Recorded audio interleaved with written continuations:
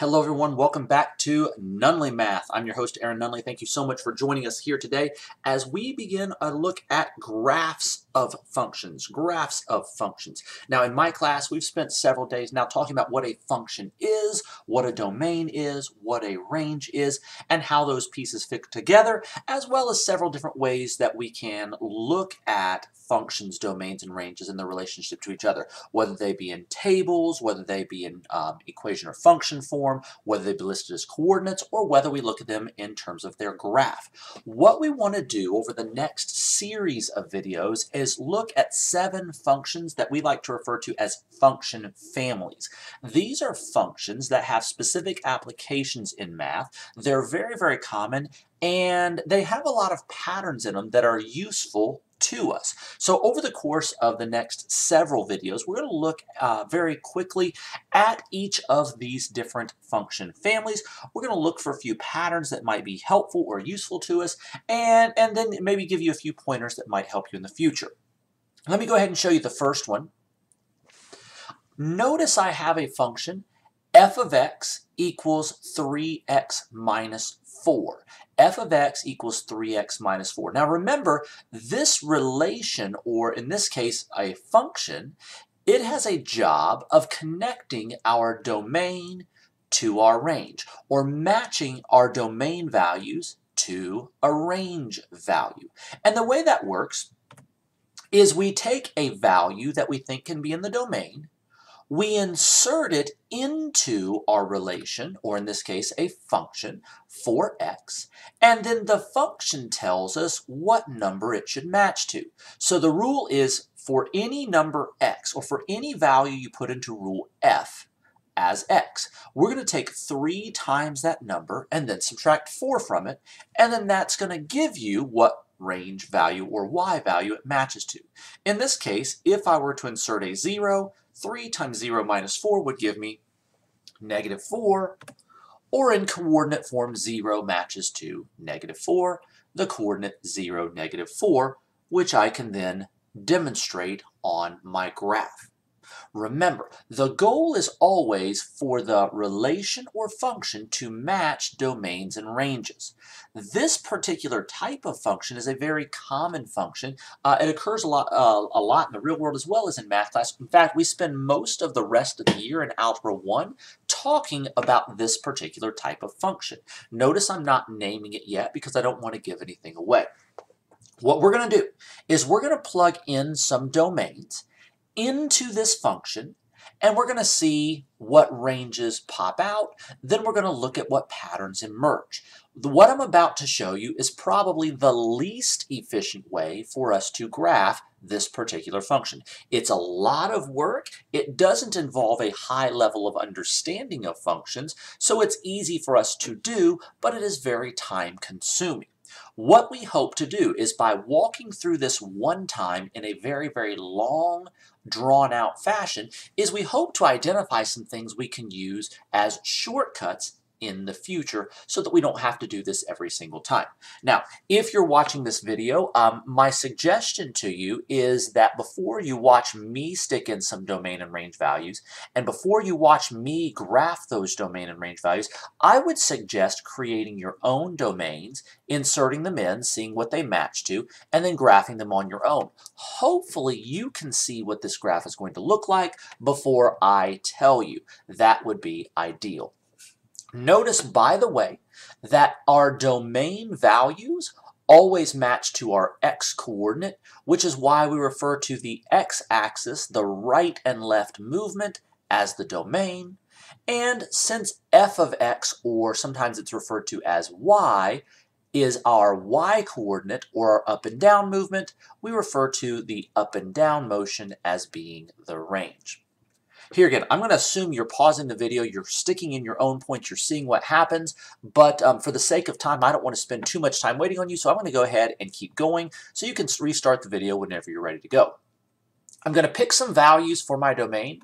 Maybe I want to insert a 1. If I stick a 1 into this rule, this says every time you stick a 1 in, take 3 times 1 minus 4, and you get negative 1. Or in coordinate form, that should be, oh, there's a little typo. This should be 1, negative 1. I'll have to go back and fix that later. This should be the point 1, negative 1, which we would graph here. That's to the right 1 and down 1. If I stick in a 2, 3 times 2 minus 4 gives me a 2. So I would have to graph the coordinate 2, 2, which is here, right 2, up 2. And I stick in a 3, and I get a 5. And I stick in a 4, and I get an 8. And I stick in a negative 1, and I get a negative 7 which is down here. Notice, by the way, I could have continued going higher and higher. I could have picked a 5, a 6, a 7. I like to pick things in order because it helps me see patterns. You can probably already look here and see something interesting or worthwhile. I'm not going to mention it yet, but hopefully you see something. Um, as I was moving up, I did notice a pattern um, that, that allows me to stop drawing because I can see the pattern to the right. What I want to do is look at what the pattern does to the left and see if that pattern continues. So that's why I picked a negative 1. Continuing to the left, I'm going to stick in a negative 2. That gives me a negative 10. And I can see my line. Notice I could have also done a negative 3 or negative 4 or negative 15, but at this point in time, you can see pretty clearly what this graph is going to do. It's going to make a straight line all lines are straight, but people refer to it often as a straight line. So I've got a line that can be drawn through all of those points. In fact, because we can draw a straight line through those points, we refer to something in this form as being a linear equation. This is not the only form of a linear equation, but it is one of the most common forms of a linear equation. When you graph a linear equation, the graph is always going to be a line. That's really beneficial to us because if I can look at the function in the first place and look at this right away and say, oh, wait a second, this is linear, then I don't need to put one, two, three, four, five, six. I don't need to put seven dots in my, in my chart and seven dots on my graph. Instead, once I know two dots, I can just recognize that this has a constant rate of change and I can sketch the rest very, very quickly.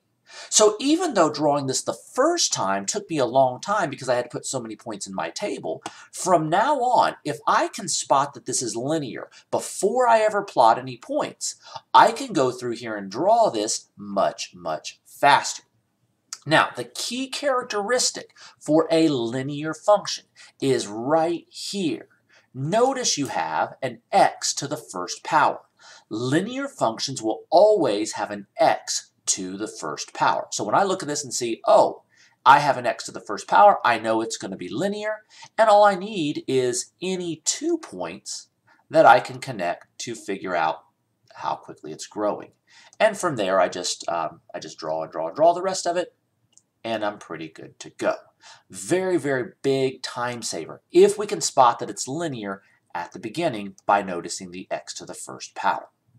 Now, I want to talk to you about the domain of this function. Remember, the domain is what x values can go into this function and produce a y value.